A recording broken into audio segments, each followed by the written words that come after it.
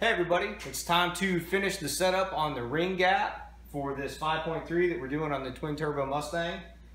Uh, I've got I've got one left. I've done seven of the eight cylinders. I figured you guys could come along with me on number eight. I'll show you guys my process.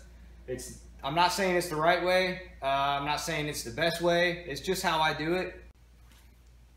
There's no rocket science here. I put the ring in the, the cylinder. I use a, a piston with no rings on it to try to square the ring and the bore. There's two flat spots on the piston right here by the wrist pin.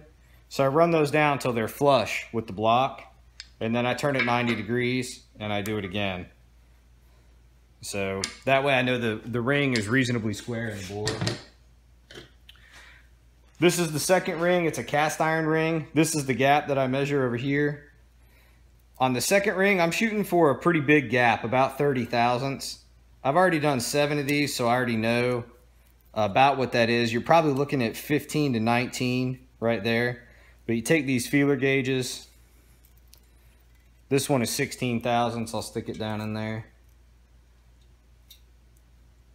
So it fits in there. Go to an 18. My 18 is really tight. So I've got about 18 thousandths of clearance right there. So I'm looking for 30. So to open that up, I got a rig set up over here on the bench. All this is, is a die grinder with a three inch cutoff wheel clamped in the vise. I've got a zip tie that holds the trigger down. So I'm gonna put air to it and it's a adjustable speed on the grinder. I've got it set down pretty low. And then I take the ring and I just squeeze it on the disc and slide it off as it's running.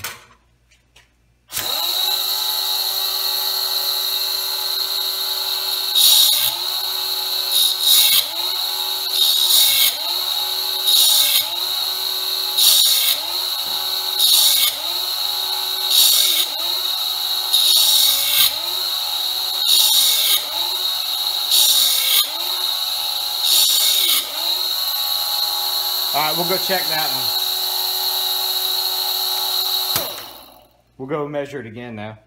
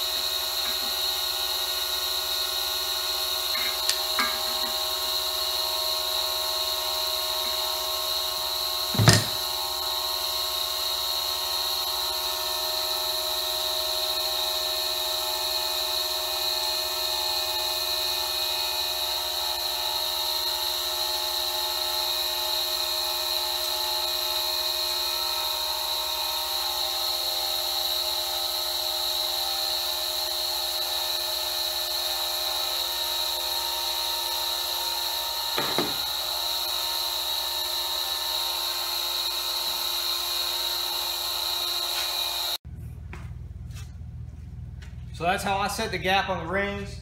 Uh, set the second ring at 30 and the top ring at 25. So I think I mentioned in another video, that's pretty, pretty big for a street motor. So we'll see how it pans out.